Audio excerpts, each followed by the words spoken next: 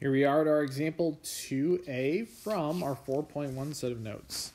Now, to kind of help us out in asking for the vertex, we're going to go ahead and dive into some of our definitions too. Um, to find out what is the y-intercept for a quadratic, again, here is the shape of our parabola. And a parabola is just pretty much the definition we use for the graph of our quadratic. Um, to find out the y-intercept, it is exactly like how we've done a lot of our functions in the past.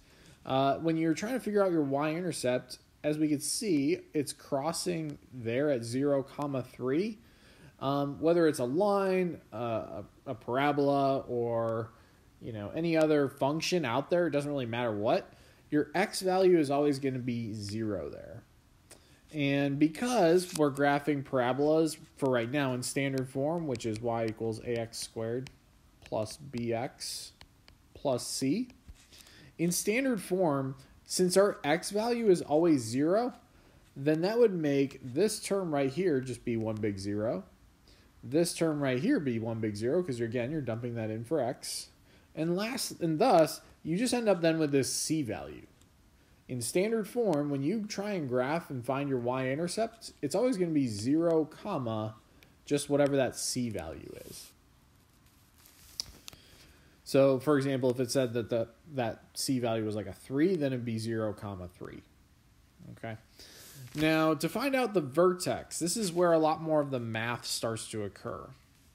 Uh, in order to find it, your x value, when it's in standard form, got to keep that in mind, we're still in standard form, your x value is going to be equal to the opposite of b over 2 times a. Okay? Then you have to substitute that in to find out your y coordinate. All right. And then this is a point on the graph. So as you can tell, our vertex, that's where we're going to see our minimum or our maximum value occur, okay? So earlier, the a value determined that you were going to have a minimum or maximum, whereas the vertex is saying, no, this is where it's located, okay? So in order to find that again, you just have to follow this formula. And then lastly, the axis of symmetry. We'll dive into that when we see an example. That's pretty much just your x value from your vertex. It's super easy to find. It literally takes a half a second. So to find your vertex, for example, 2a, let's go ahead and see this in action, what it looks like. Uh, I always encourage my guys to do two things to start out when you're trying to find the vertex. First of all, what identify what is your A, what is your B, and what is your C. So really there's a 1 in front. That would be your A. Our B here looks like he's positive 4. And our C value here is positive 1. So there again, we just identified our A, B, and C. Now we're going to go ahead and rewrite this quadratic, I'm sorry, this, this vertex form in finding out the x value.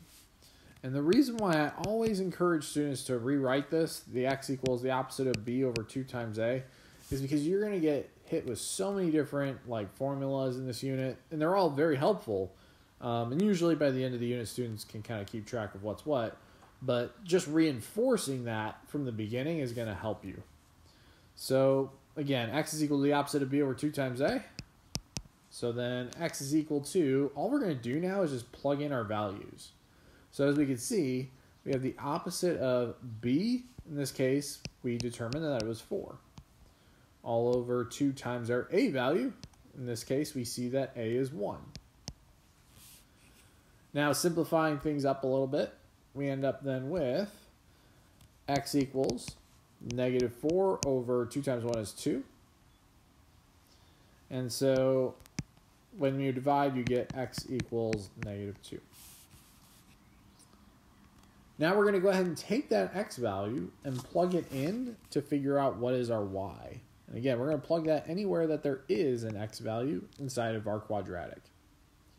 So we don't yet know what y is, but it's equal to 1 times our x that we just found, negative 2 squared, plus 4 times negative 2 plus 1. And then simplifying this up, we have y equals 1 times negative 2 squared is 4. So there all I did was my, my exponent. Now I'll go ahead and multiply these two terms together. So we have y equals 4 minus 8 plus 1. And then lastly, just combine everything together. So then it looks like it comes out to be negative 3. So our vertex here comes out to be negative 2, comma, negative 3. Now, because our a value here is a positive 1, you would expect to see a u facing upwards, and then this vertex that we just found is the location of that minimum value. All right. Now, that axis of symmetry, again, this takes literally two seconds. Um, it's pretty much just your x value from your vertex. So it's x equals negative 2. Boom, done. All right. But we'll talk more about that in the future. So, again, though, that is our example 2A from our 4.1 set of notes.